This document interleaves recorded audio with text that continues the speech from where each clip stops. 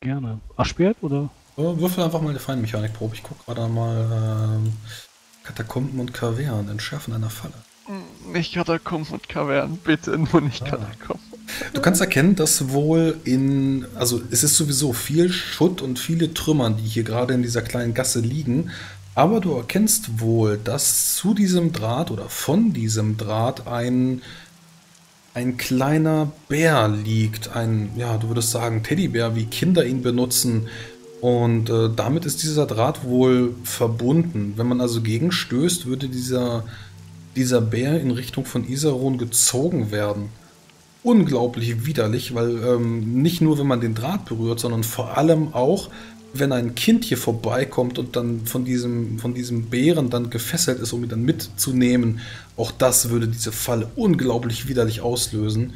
Äh, du guckst noch mal ein bisschen weiter nach vorne und kannst da wohl auch ähnliche Mechaniken erkennen, über die man dann hinübersteigen müsste, dann über die, über die ganze Seite der Gasse. Du kannst auch sowas erkennen wie ein, ein kleiner Korkball, äh, der dann vom, vom Immern-Spiel benutzt wird. Also auch, wenn man ganz, ganz gern benutzt, wenn man gegentritt, einfach nur um ja, Schutt beiseite zu räumen oder einfach den Korkball, die tritt man sowieso immer super gerne. Auch der würde eine Falle auslösen. Definitiv wohl magisch. Ähm, Zumindest bei dem Korkball würdest du es vermuten, ähm, weil man da im Inneren nicht so viel verbergen kann. Aber was im Bauch dieses Teddybären steckt, das kann natürlich auch alchemistisch sein. Widerlich, richtig, richtig ekelhaft.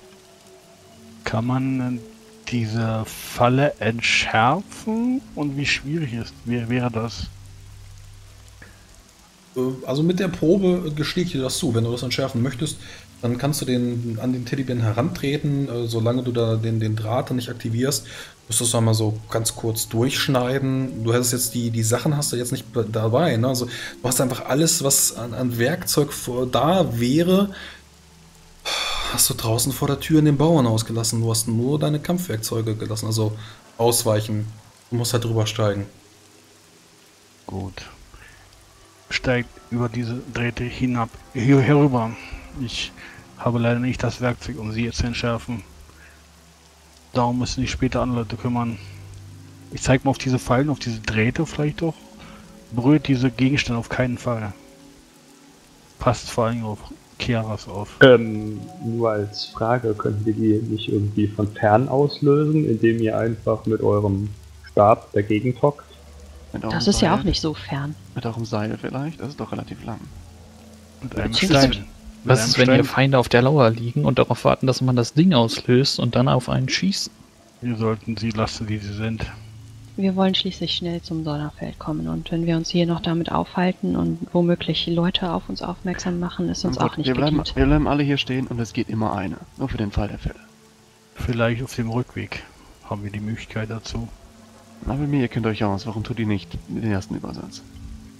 Ja, ich, ich gehe mal den Weg vor steige über demonstrativ hoch über diese Drähte hinüber und erreiche hoffentlich das andere Ende des Minenfeldes. Mhm. Sinnschärfe für euch alle, um dann vorbeizukommen.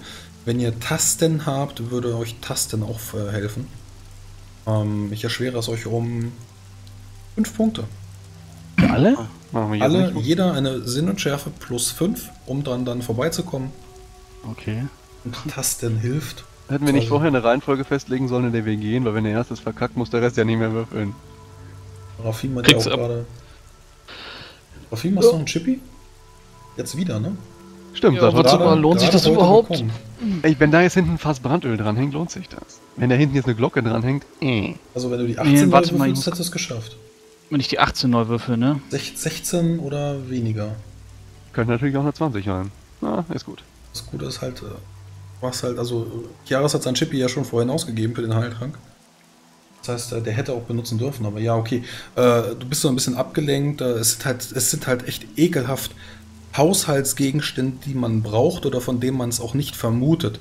Teilweise dann noch auf Kopfhöhe angebracht und Abel mir kann danach erkennen, wie da wohl irgendwelche Regenrinnen ähm, mit, mit Säure oder sowas gefüllt worden sind und dann, also es ist absolut ekelhafte Kriegsführung. Ähm, hat nichts mit, mit normaler mittelreichischer Taktik zu tun, sondern das ist dämonisch pervertiert. Das ist ekelhaft. Ähm, auch irgendwelche Bratpfannen, die ihr erkennen könnt, also dann Travia, äh, heilige Gegenstände. Und dann könnt ihr vor euch die neue Stadtmauer erkennen, die dann zum Donnerfeld führt. Hm, Wird auf den Moment. äh, Zinnen dann auch äh, schwere äh, Soldaten erkennen, Krieger von der Feuerlilie, die da mit ihren Ordenswappen stehen und dann äh, Speere rausgereckt haben, nach oben, Schilde dabei und dann wachsam erkennen, dass ihr auch dann aus der Gasse tretet, beziehungsweise dann nach und nach euch in diese äh, Bäume und Büsche dann abtat. Gnädigerweise sehe ich auch auf Entfernung aus Wimbernstraße. Da muss ich euch recht geben. Zwölffach verfluchter Mist. Habt ihr das gesehen? Ich war auf Maraskan und da haben sie keine so üblen Fallen gestellt. Müssen gute Fallenbauer unter ihnen haben. Hm, wenn ich den in die Finger kriege. Gut, wie sieht es denn auf dieser großen Allee aus? Ja, ähm, du guckst dich so ein bisschen um. Äh, laut den Karten müsste das jetzt die Fürstin Irmegunde Allee sein, die dann auch direkt nach äh, Norden führt zu der Palastviertel. Äh, du guckst nochmal. Die können hier natürlich wieder überall sitzen mit ihren, mit ihren Armbrüsten und überall schießen, aber in der Nähe, in der Entfernung, wo ihr gerade rauskommt, hoffst du, dass man wohl schnell dann die Straße auch überqueren kann. Ähm, wenn du dich noch, äh, noch mal ein bisschen umblickst, kannst du dann auch vor allem im schwarzen Himmel erkennen, wie wohl Karakile fliegen. Und zwar drei Stück. Äh, Zwei sind besonders groß und haben wohl auch mehr Hörner, als das die, äh, die Kodizes vorschreiben, beziehungsweise die Beschwörungsriten und das, was du eben auch aus den verbotenen Büchern oder aus den freigegebenen Büchern kennst. Und darauf dann auch Reiter. Haben jetzt äh, keine Witterung von euch aufgenommen, aber sie kreisen über dem Palastviertel. Und wenn wir über die Straße wollen, müssen wir dies wohl zügig tun. Mhm. Dann auf. Kann man von hier aus das Tor sehen? Äh, dieses? Genau, das kannst du sehen und äh, vor allem dann auch hier oben auf den Mauern dann die Krieger der Feuerlilie. Äh, du guckst so ein bisschen, es sind wohl an der Mauer zehn Stück. Äh, dann betritt eine weitere Person, ähm, äh, die wohl herzugerufen wurde, die Mauern. Es handelt sich dabei wohl um eine sehr abgerissene Gestalt. Auf den ersten Blick denkst du, es ist Ömer, aber auf den zweiten Blick ist es wohl nur irgendein anderer dreckiger Tulamide, äh, der äh, dann auch direkt zu euch schaut und dann mit euch die Kommunikation aufnimmt, und zwar bei Attack. Ich richte mich nur gut sichtbar auf. Geh nicht auf die Straße, aber ich stelle mich halt hin. Ja, ihr dürft gerne auch mal Attack würfeln, um jetzt die Kommunikation aus der Entfernung dann äh, mitzubekommen. Ja, das sollte doch gehen. Nein, nein, Auf wen mich erkenne ich so genau? Was deutet er? nein. äh, Abelmir äh, erkennt es, äh, Rafim hat wohl immer noch ein bisschen äh, zu tun mit, ja, guckt nochmal nach hinten und äh, hatte da wohl auch irgendwelche Trittspuren entdeckt mit irgendwelchen giftigen äh, Nadeln, die sie da wohl auch aus dem Boden haben schnellen lassen. Das war wohl eine Mechanik, auf die Abel mir hingewiesen hatte, wo dann auch Säure aus diesen Nadeln kam. Das hat äh, Rafim besonders fasziniert. Aber Abel mir äh, hat wieder den Blick äh, beim Attack und kann das dann für euch übersetzen. Sie werden für euch nicht die äh, Tore öffnen, denn das ist zu gefährlich. Sie werden für euch eine Leiter runterlassen, eine Strickleiter, an der ihr dann hier ähm, die Mauern beklimmen könnt. Denn äh, ja, aufgrund von schnellen, verräterischen Dämonen werden sie die Tore nicht öffnen. Punkt. Strickleiter. Wir sollen die eine Strickleiter benutzen. Gut, gut. Kieras, könnt ihr klettern?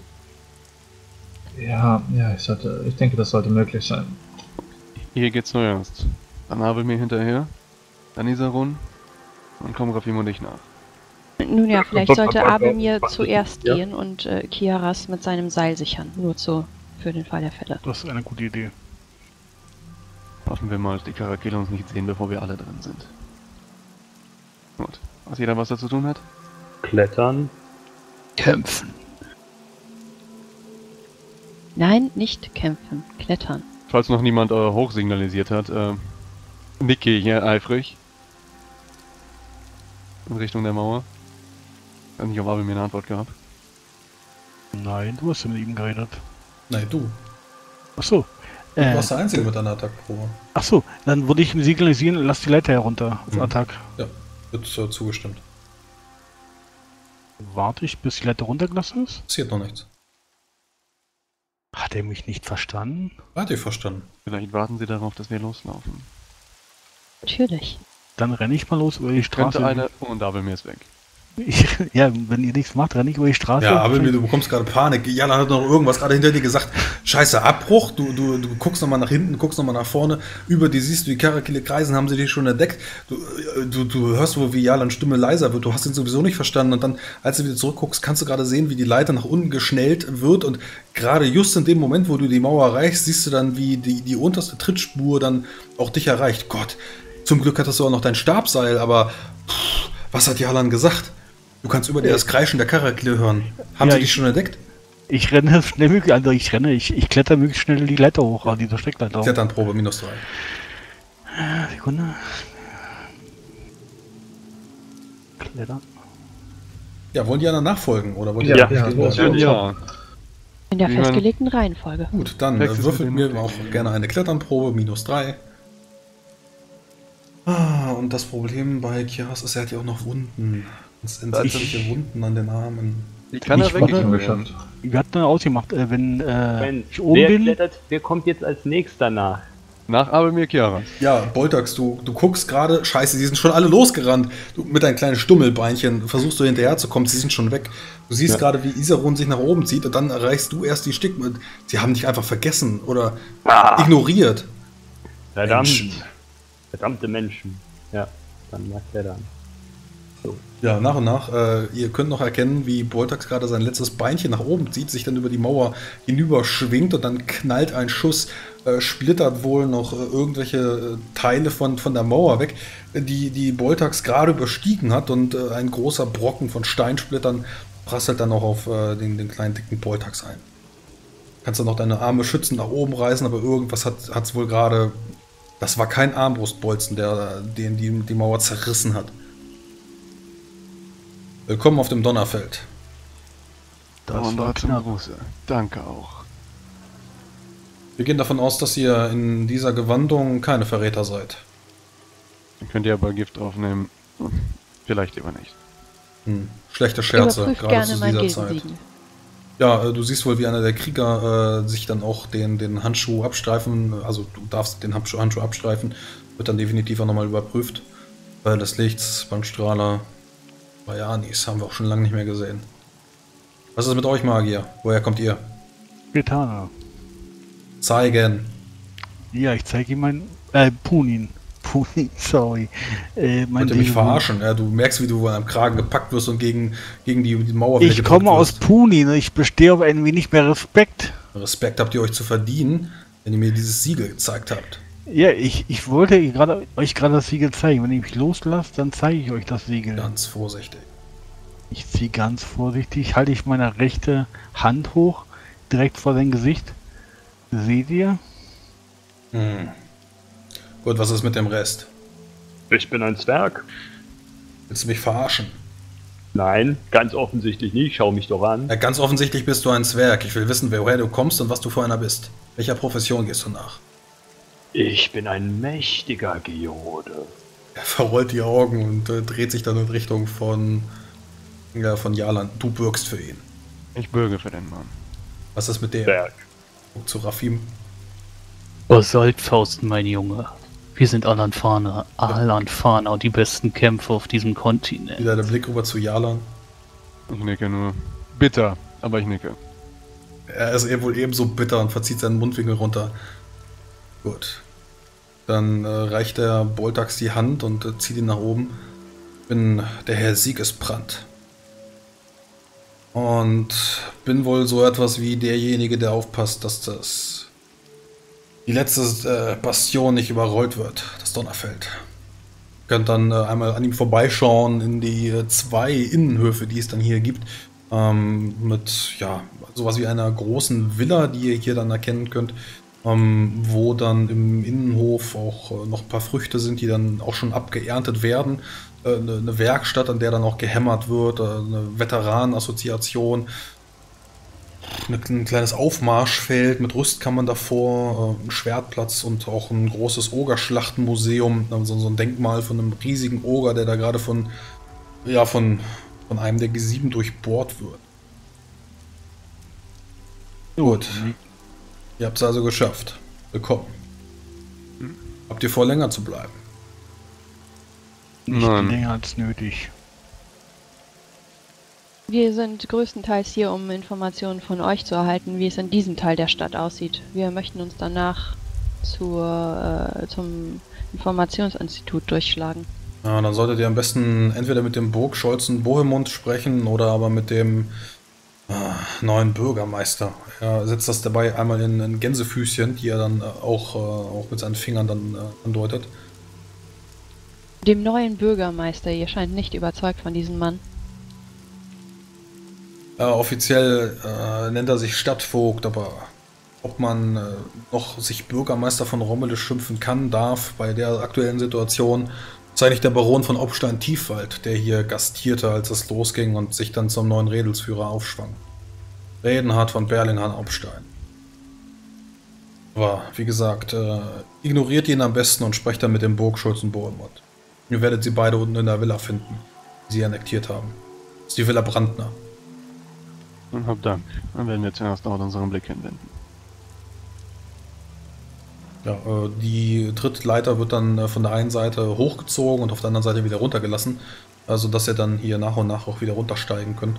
Äh, Gäbe natürlich auch noch eine, eine andere Möglichkeit, dann wohl im Inneren des Türmchens nach unten, zu steigen, aber das würde dann dauern und äh, daher bietet er euch dann diesen einfachen Weg an. Könnt dann auch wieder nach unten klettern, wenn ihr nichts weiter wollt und dann steht ihr in einem kleinen Garten mit äh, ja, Büschen, Bäumen und Feldern, wo wohl Toffeln oder sowas angebaut wurden. Mittlerweile liegt das Land dann aber auch brach, weil ja, zum Selbstanbau ist mittlerweile auch schon alles verkommen. Und dann. Ich schreite voraus Richtung Villa. Schauen wir mal, was die neuen Herren der Stadt zu sagen zu haben. Ja, äh, wenn ihr äh, in die Villa tretet, äh, könnt ihr davor wohl noch auf dem, auf dem äh, kleinen ja, Innenhof ist es nicht wirklich, aber es gibt dann halt so, eine kleine Tür, äh, die dann zu dem Garten führt. Äh, davor steht dann so ein, so ein Holztisch mit einer Bank und äh, äh, ja, zwei, zwei Frauen, die da sitzen mit einem Sonnenschirm oder Regenschirm ist es wohl eher, beziehungsweise umfunktioniert und versucht da wohl gerade draußen ein bisschen sich zu unterhalten.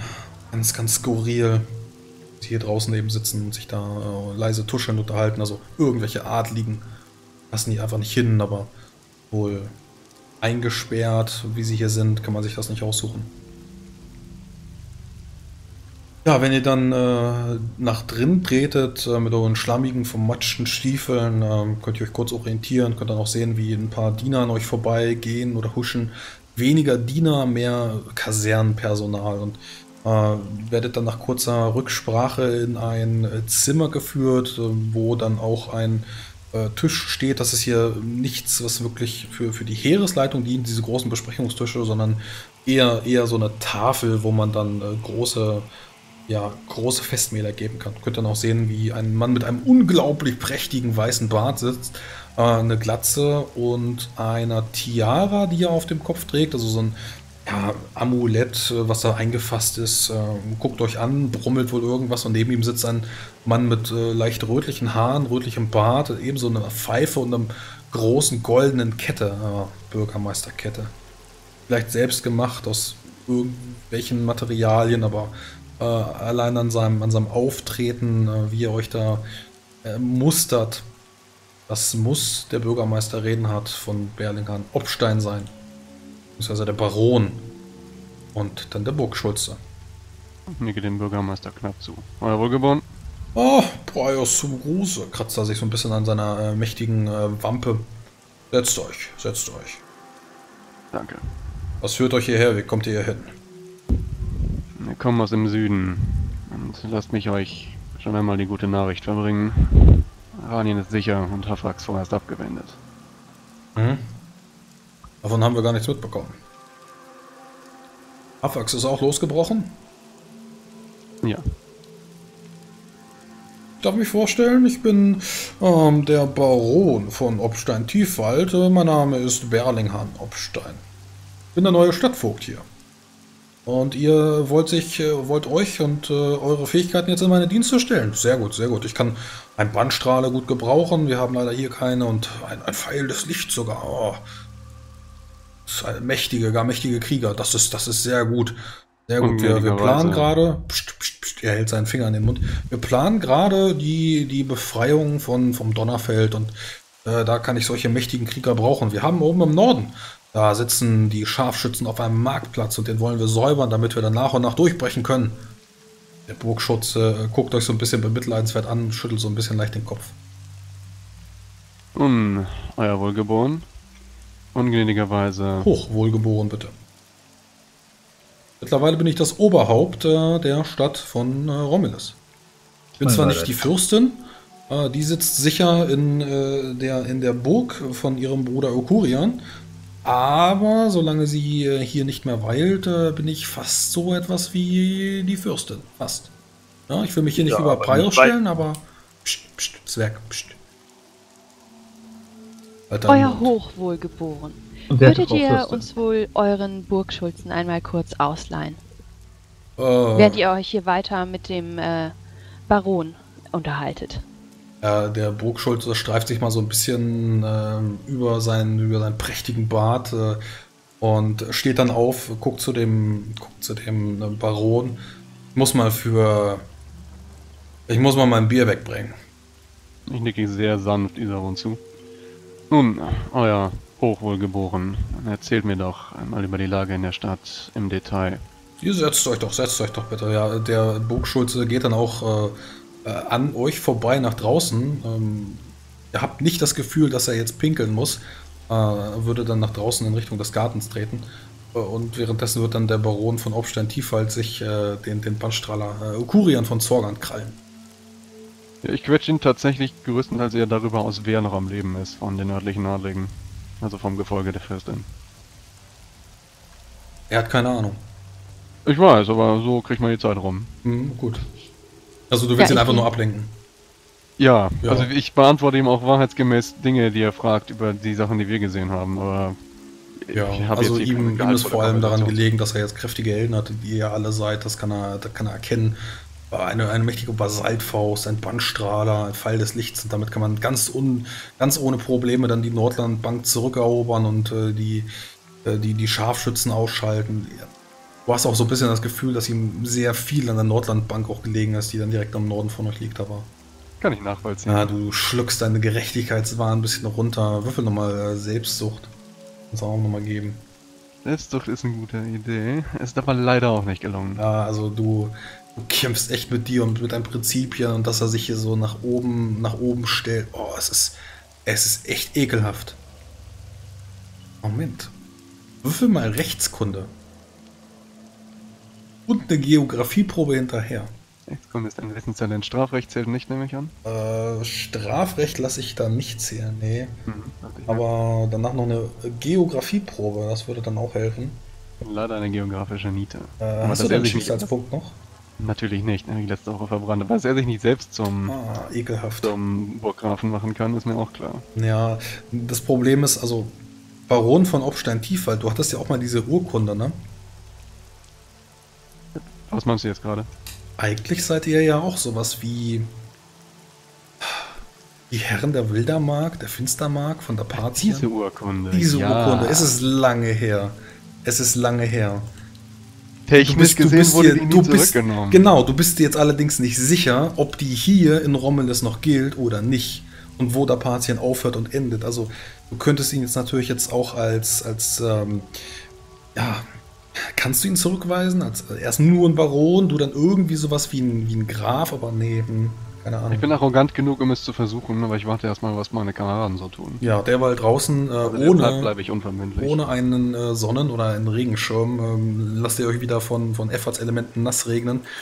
Ähm, der Burgschulzer äh, hat da wohl auch gar keine Probleme. Im Gegensatz zu seinem, zu seinem Vorgesetzten, dem, dem Stadtvogt, äh, guckt er euch dann äh, an, während dann das Wasser an seinem Bart sich sammelt. Ihr seid komplett fasziniert von diesem Bart. Äh, wie sie dann, wie sie dann in langen Fäden runterläuft. Euch an. Ihr müsst mir euer Bartpflegegeheimnis verraten. Hm. Ich hab keins. Nicht? Nein. Beeindruckend. Also gut. Ich bin kein Untergebener von diesem Baron. Ich bin hierher gesandt worden von Ukurian und äh, soll nach dem Rechten gucken. Okurian und äh, seiner Schwester, der Fürstin Immergunde, geht das gut. Sie sitzen Das ist. Zeit. Äh, nein, ich wollte nur anmerken, dass es äh, erleichternd ist, das zu hören. Aber fahrt fort, bitte. Ja, Wenn ihr mich unterbrecht, dann werde ich natürlich stillschweigen. Sie sitzen in der Feste Hohenstein. Das ist dasjenige, was ich äh, normalerweise als Burgschulze dann oder als Burgvogt dann verwalte. Aber solange äh, der Herr Okurian von Rabenmund selbst dort vorsitzt, werden sie mich nicht brauchen.